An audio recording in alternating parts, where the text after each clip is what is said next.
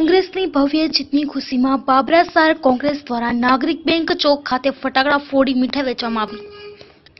પાંચ રાજ્યની ચૂંટણીના પરિણામથી બાબરા કોંગ્રેસના સભ્ય દ્વારા નાગરિક બેંક ચોકમાં ઢોલ નગારા સાથે ફટાકડાની આતાશબાજી કરી મીઠાઈ વેચવામાં આવી હતી. આ તકે કોંગ્રેસ અગ્રણી પ્રભાતભાઈ કોઠીવાડ, બાબરા શહેર કોંગ્રેસ પ્રમુખ શરદભાઈ સિંધવ, બાબરા નગરપાલિકા ઉપપ્રમુખ જગદીશભાઈ કારેટિયા, તાલુકા પંચાયત પ્રમુખ પતિ ધીરુભાઈ વહાણી તાલુકા પંચાયતના પૂર્વ પ્રમુખ જસવંતભાઈ ચોવાટિયા, આઈટી સેલ પ્રમુખ અમિતભાઈ ચોગલ, નગરપાલિકાના સદસ્ય અરવિંદભાઈ મેવાડા, છગુભાઈ ખાદા ચાહાભાઈ ભોજવાણી બાવકુભાઈ બસિયા, નટુભાઈ ચાસલિયા, રહીમભાઈ સૈયદ, રાજુભાઈ ખાતરોચા અન્ય કોંગ્રેસના આગેવાનો ઉપસ્થિત રહ્યા અને કોંગ્રેસ જિંદાબાદ રાહુલ ગાંધી જિંદાબાદના નારા સાથે જીતની ખુશી મનાવી હતી.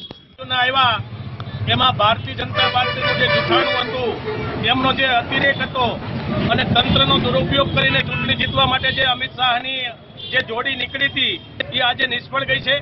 પ્રજાએ સત્યને પારખી લીધું છે. સાડા ચાર વર્ષના મોદી શાસનમાં જે વાયદાઓ કર્યા હતા, એ વાયદાઓનો એમણે અમલ ન કર્યો, એનું પરિણામ પ્રજાએ આપી દીધું છે.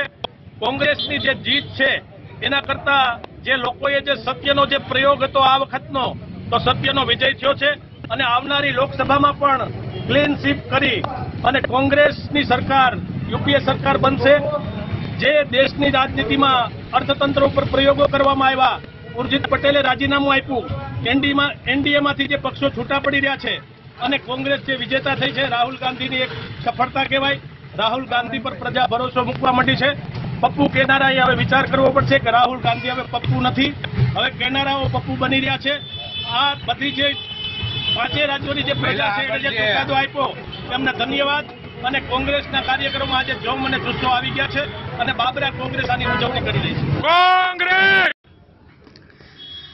Report Hiren Chauhan Lok Sabha news channel Babra.